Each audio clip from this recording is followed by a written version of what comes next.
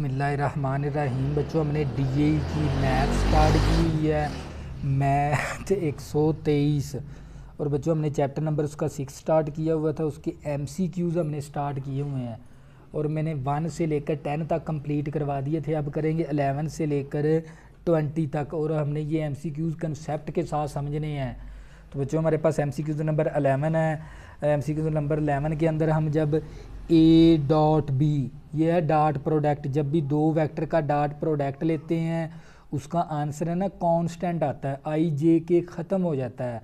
तो इसका मतलब क्या, ये कौन सी क्वांटिटी है? फिर अगर अगर दो वेक्टर का डाट प्रोडक्ट ले लिया जाए तो वो असल में हमारे पास स्केलर क्वांटिटी आती है. तो इसके ऊपर क्या करेंगे? टिक का निशान लगा देंगे. तो ये था हमारे पास M C Qs number eleven इसी तरह M C Qs number twelve करेंगे.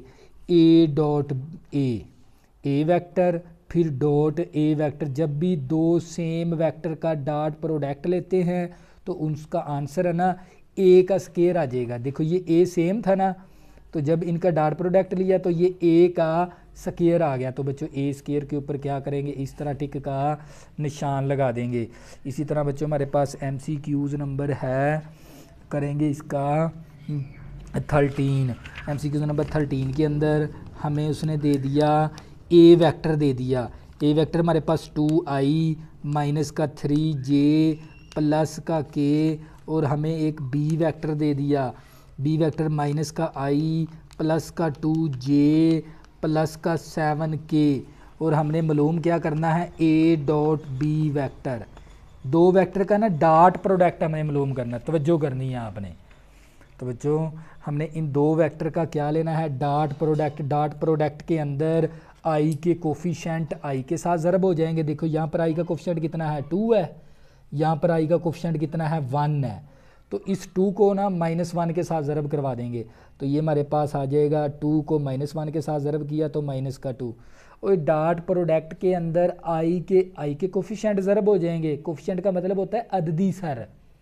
और जे के जे के कोफिशेंट के साथ ज़रब हो जाएगा। इसी तरह के का कोफिशेंट के के कोफिशेंट के साथ ज़रब करवा देंगे। तो ये हमारे पास आ जाएगा डाट प्रोडक्ट तो बच्चों, फिर माइनस थ्री को इस टू के साथ हमने ज़रब करवाया। माइनस थ्री को टू के साथ ज़रब करवाएँगे। माइनस का सिक्स आ गया। यहाँ पर के के साथ क्या है? वन इस वन को इस सेवन के साथ ज़रब करवाया। तो सात ही कम सात आ गया। तो बच्चों, ये था हमारे पास दो वेक्टर का dot product minus two minus eight six minus का एट आ गया प्लस का सेवन तो ये आ गया माइनस वन तो बच्चों थर्टीन का एम हमारे पास क्या बनेगा? माइनस वन आएगा। तो माइनस वन के ऊपर क्या करेंगे बच्चों? इस तरह टिक का निशान लगा देंगे। इसी तरह बच्चों, जब दो वेक्टर का हम लेते हैं डाट प्रोडक्ट वो आ जाए ज़ीरो के बराबर तो ये दोनों वेक्टर फिर किस तरह होते हैं? मैं बताता हूँ आपको किस तरह होते हैं ये दो वेक्टर ये मेरे पास एक ए वेक्टर है इस तरह, और इस तरह ये हमारे पास एक बी वेक्टर है. तो ये दोनों वेक्टर अगर ए डॉट बी अगर आ जाए ज़ीरो के बराबर तो इनके दरमियान में एंगल कितना होता है? Ninety degree. यानी ये दोनों वेक्टर है ना, आपस में ना परपेंडिकुलर होते हैं इस तरह. ये देख लें इस वेक्टर के ऊपर ये वाला वेक्टर क्या है? परपेंडिकुलर है। तो उस वक़्त दो वेक्टर का डाट प्रोडक्ट ज़ीरो के बराबर होता है जब दोनों वेक्टर आपस में क्या होते हैं? परपेंडिकुलर यानी वो 90 डिग्री का जाविया बनाते हैं। तो बच्चों इसके ऊपर हम क्या करेंगे? टिक का निशान लगा देंगे। एम सी नंबर चौदह का आंसर क्या आएगा इसका? हम्म, ये दोनों ये यानी ये क्रॉस था सॉरी। यहाँ पर क्या है? हमारे पास क्रॉस है। A cross B is equal to zero जब भी दो वेक्टर का क्रॉस क्रॉस था बच्चों, ये हमारे पास एम सी क्यूज नंबर चौदह। बल्कि डाट नहीं था, बल्कि क्रॉस था। जब भी दो वेक्टर का क्रॉस ये जो सी ज़रब है ना, ये क्रॉस कहते हैं वेक्टर के अंदर। तो दो वेक्टर का क्रॉस प्रोडक्ट किसके बराबर हो? ज़ीरो के बराबर। तो ये दोनों वेक्टर फिर है ना, इस तरह ना पैरल में होते हैं। यानी पैरल का मतलब है मतवाजी होते हैं इस तरह। ये दो लाइनें आपस में क्या है? पैरल ये दो लाइनें भी आपस में क्या हैं? पैरल ये ला होती है पैरल तो जब भी दो वेक्टर का क्रॉस प्रोडक्ट ले लिया जाए, उसका आंसर आ जाए ज़ीरो के बराबर तो वो दोनों वेक्टर आपस में क्या होते हैं? पैरल होते हैं इस तरह. तो बच्चों पैरल के ऊपर क्या करेंगे? टिक का निशान लगा देंगे. ये रहा हमारे पास एम नंबर चौदह. इसी तरह बच्चों एम नंबर पंद्रह करेंगे. आपने तवज्जो करनी है. क्योंकि ये सारा काम ही तवज्जो का है। तो बच्चों आपने तवज्जो करनी है। हमारे पास the cross product of two vector A and B. अगर दो वेक्टर क्रॉस में है ना तो वो फिर किसके बराबर होते हैं? ये उसने पूछा इसके अंदर। एम सी क्यूज़ नंबर पंद्रह। A cross B. ये दो वेक्टर क्या उसने बताया? भी क्रॉस में है। क्रॉस प्रोडक्ट है, दो वेक्टर का। तो अगर ये दो वेक्टर क्रॉस प्रोडक्ट है, इसका फार्मूला होता है ए वेक्टर बी वेक्टर और साइन थीटा और एन यूनिट वेक्टर के बराबर। दो वेक्टर का क्रॉस इस वैल्यू के बराबर होता है। ये बात आपने याद रखनी है। ए का मैग्नीट्यूड बी का मैग्नीट्यूड साइन थीटा और एन कैप एन कैप का मतलब होता है यूनिट वेक्टर तो बच्चों, हम यहाँ पर क्या करेंगे? टिक का निशान लगा देंगे। एक ए का मैग्नीट्यूड बी का magnitude sine theta N unit vector तो बच्चों, इसके ऊपर क्या करेंगे? टिक का निशान लगा देंगे। ये था हमारे पास एम सी क्यूज़ नंबर पंद्रह। इसी तरह बच्चों एम सी क्यूज़ नंबर सोलह करेंगे। आप लोगों ने ना तवज्जो से लेक्चर लेना है ये मेरा। If N is the unit vector अगर एन ये यूनिट वेक्टर है ना तो फिर हमारे पास डायरेक्शन को sine A cross B then N N vector फिर हमारे पास किसके बराबर होगा? तो बच्चों, आप लोगों को पता होना चाहिए, अगर आप लोगों का ये एम सी क्यूज़ नंबर है सोलह एन यूनिट वेक्टर किसके बराबर होता है? A cross B over A cross B vector का मैग्नीट्यूड के बराबर है। तो ये कहाँ पर मौजूद है? डी जोज के अंदर। तो बच्चों डी के ऊपर क्या करेंगे? इस तरह टिक का निशान लगा देंगे। इसी तरह बच्चों, हम करेंगे next M C Qs number सतारह। आपने तवज्जो करनी है, क्योंकि ये सारा काम ही तवज्जो का है। ये हमारे पास ए क्रॉस बी का मैग्नीट्यूड ये वैल्यू किसके बराबर है? किस एरिए के बराबर है? हमें पता है। ये, क्योंकि हमारे पास एरिया ऑफ़ पैरलोग्राम का जो सा फार्मूला था ना हमारे पास, वो था ए क्रॉस बी का मैग्नीट्यूड यानी ये हमारे पास ये वाली वैल्यू फिर किसके बराबर है?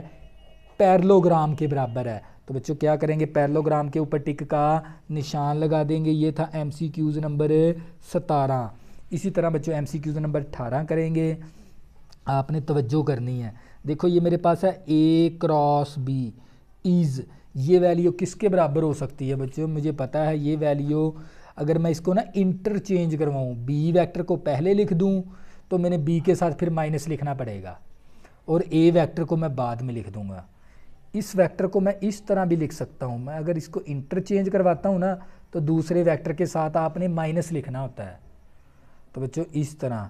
जब भी हम इन दो वेक्टर को इंटरचेंज करवाएँगे तो minus B vector cross A vector आ जाएगा। तो बच्चों, इसके ऊपर हम क्या करेंगे? टिक का निशान लगा दें। कहाँ पर मौजूद है? Minus B vector cross A तो इसके ऊपर टिक का निशान लगा देंगे। बच्चों, ये था हमारे पास एम सी क्यूज़ नंबर था हमारे पास ये अठारह। इसी तरह बच्चों एम सी क्यूज़ नंबर उन्नीस करेंगे। बच्चों एम सी क्यूज़ नंबर है उन्नीस। तवज्जो करनी है आप लोगों ने। उसने हमें इससे पूछा है, B, A, and B vector क्या हो? आर, कुलीनियर हो। कुलीनियर का मतलब वो एक ही खत पर अगर ये दोनों वैक्टर मौजूद है ना तो इन दोनों वेक्टर का क्रॉस प्रोडक्ट है ना ज़ीरो के बराबर होगा। क्योंकि ये दोनों वेक्टर क्या हो गए? पैरल क्योंकि ये एक कुलीनियर है ये दोनों वेक्टर यानी एक ही एक ही खत पर हों दोनों वेक्टर तो वो दोनों वेक्टर आपस में क्या होते हैं? पैरल होते हैं। तो यानी इन दोनों वेक्टर का क्रॉस प्रोडक्ट फिर किसके बराबर होता है? ज़ीरो के बराबर। तो ये आंसर आता है इसका। तो बच्चों 19 के ऊपर क्या करेंगे? टिक का निशान ए क्रॉस बी का A cross B is equal to zero तो इसके ऊपर ए जो उसके ऊपर क्या करेंगे बच्चों? टिक का निशान लगा देंगे। इसी तरह बच्चों, आ गया एम सी क्यूज़ नंबर बीस ये भी आपने तवज्जो से समझना है, ताकि आप लोगों का कंसेप्ट क्लियर हो जाए। ए क्रॉस बी का मैग्नीट्यूड इज़ ए ये किसके बराबर होता है? जब भी हम दो वेक्टर का क्रॉस प्रोडक्ट ले लें, इस तरह अगर लिया जाए तो वो जो सा ना इसका, जो सा, फिर इसका मैग्नीट्यूड ले लिया जाए। पहले दो वेक्टर का क्रॉस प्रोडक्ट लेना है, फिर इसका मैग्नीट्यूड लेते हैं ना तो हमारे पास ना एक कांस्टेंट वैल्यू हासिल होती है आई जे के ख़त्म हो जाता है। तो इसीलिए फिर ये कौन सी क्वांटिटी बन जाती है? स्केलर और जिसके साथ आई जे के नाना लगाओ, वो हमारे पास स्केलर क्वांटिटी होती है। तो जब हम इन दोनों वेक्टर का क्रॉस प्रोडक्ट लेते हैं, फिर इसका मैग्नीट्यूड लेते हैं तो वो हमारे पास कौन सा वेक्टर हो जाता है? कौन सी क्वांटिटी बन जाती है? स्केलर तो स्केलर के ऊपर बच्चों क्या करेंगे? टिक का निशान लगा देंगे।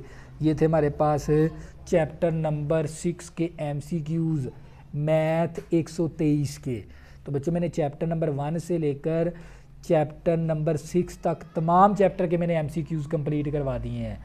तो बच्चों, अगर आपने अभी तक मेरे चैनल को सब्सक्राइब नहीं किया प्लीज़ इसको सब्सक्राइब कर लें, ताकि आने वाली न्यू वीडियो आपको आसानी के साथ मिल सकें। अल्लाह हाफिदों में जू याद रखना।